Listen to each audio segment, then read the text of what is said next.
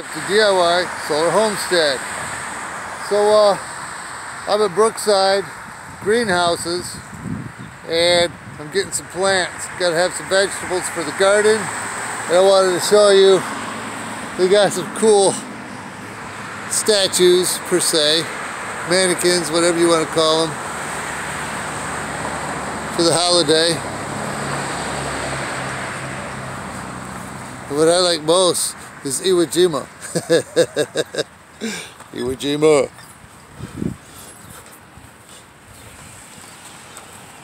So they decorate them in different, per se, costumes for each event. They got, for Halloween, they got different costumes, different things going on. But that's pretty cool. And of course, you gotta love the army uniform. but yeah, we got the four flags. What we don't have here, well, we're missing one. What is it? There's the Army, Marine, Navy, Coast Guard. Oh, we're missing Navy. No, Navy. I'm missing one in my in my head. But anyway, let me take you back to the greenhouse. Here's what I got. And of course, all the homesteaders are saying that if you put onions on the perimeter, it keeps the moles out. So I got red onion starters, and I got different chives. And then I, there's mustard, and there might be some bok choy in there, and a few other.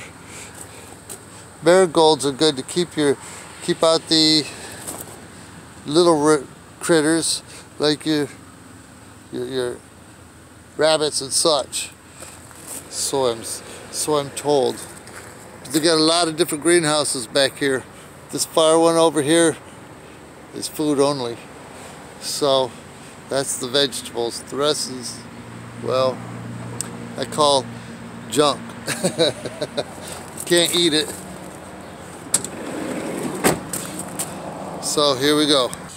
All kinds of little greenhouses. This is awesome. So you can uncover it every single morning so they can get the warmth and sunlight. Oh, look at that. I'm loving that. You can get the big leafy ones in there too. Starters.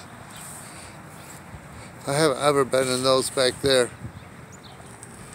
I want one. Want to be able to grow all my own food.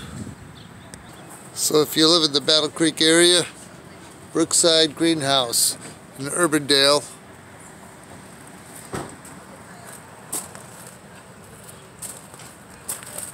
lots of assortments, a lot of everything. This is perfect for the pollinators. This will bring in the bees.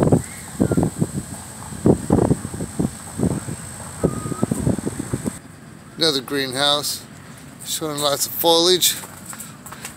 Heads of flowers for the pollinators.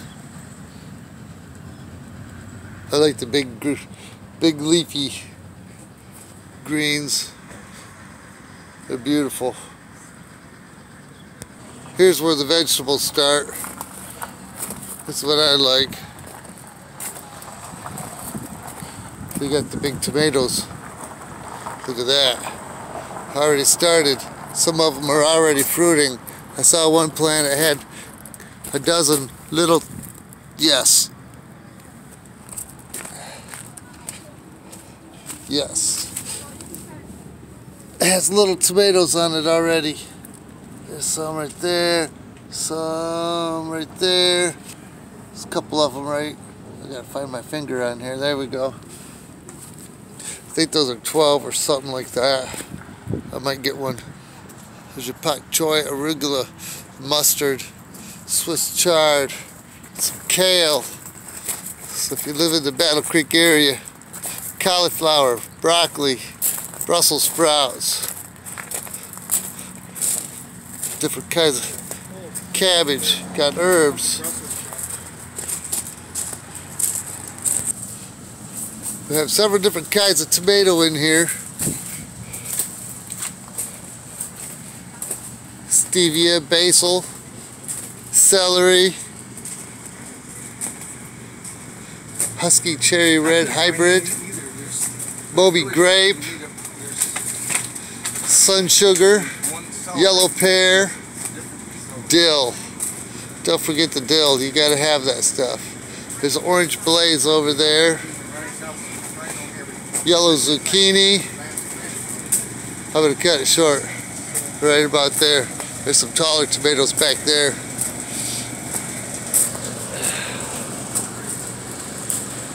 I went to the counter and said, I, where's your food? they said, what do you mean? I said, I want to grow food, not flowers. But you got to have the pollinators anyway. So I got a couple things and I'm going to get started. I'm going to get these in the ground first, get the get the uh, marigolds down and put the onions around the outskirts. Keep the critters out. And then I'm to I got to get a solar charger. I got a fence. Keep the critters out. That way also. I got to get the charger for that. And then uh, I got to get the indoor garden outdoors. Coming to a theater near you. And uh, have a nice sunny day.